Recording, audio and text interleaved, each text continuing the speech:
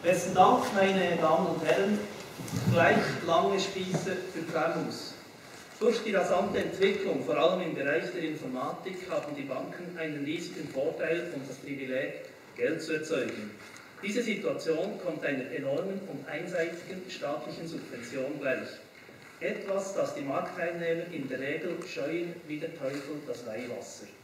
Die übrigen Unternehmen müssen sich die Mittel für Investitionen im Gegensatz zu den Banken zuerst selber erarbeiten und zinspflichtig ausleihen.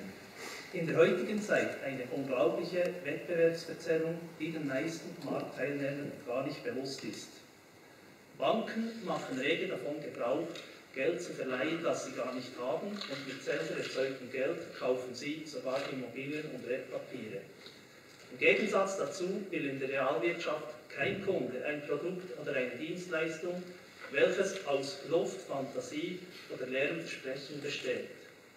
Ein Kredit- oder Bankguthaben ist aber genau das, eine virtuelle Zahl in einem Computersystem auf einem Bankkonto mit dem Versprechen, dass damit Forderungen beglichen werden können.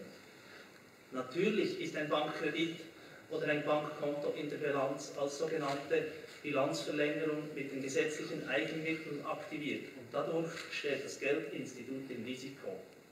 Während andere Subventionen, zum Beispiel die Landwirtschaft, intensiv und transparent öffentlich diskutiert werden, fehlt bei der Geldschöpfung der Banken jegliche Offenheit.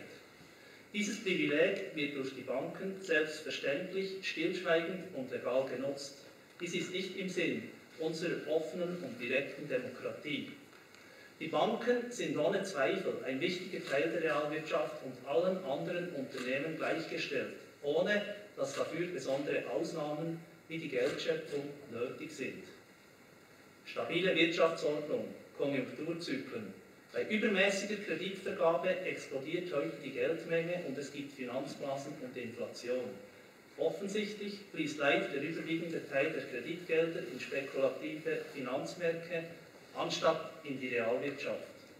Heute zeigt sich, dass die Nationalbanken mit ihren Leitzinsen nahe bei Null mit dem Rücken zur Wand stehen und die Möglichkeit zur Steuerung der Geldmenge weitestgehend eingebüßt haben.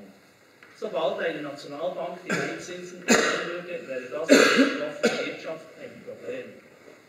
Im Vollgeldsystem benötigen Banken richtige Einlagen, also Spargelder, Investoren oder von der Nationalbank geliehenes Vollgeld.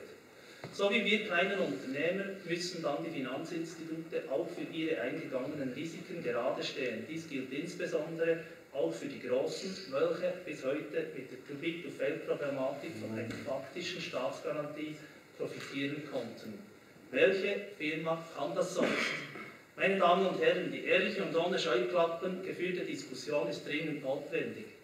Haben Sie die Bilder der SLT-Bankenpleite noch vor Augen?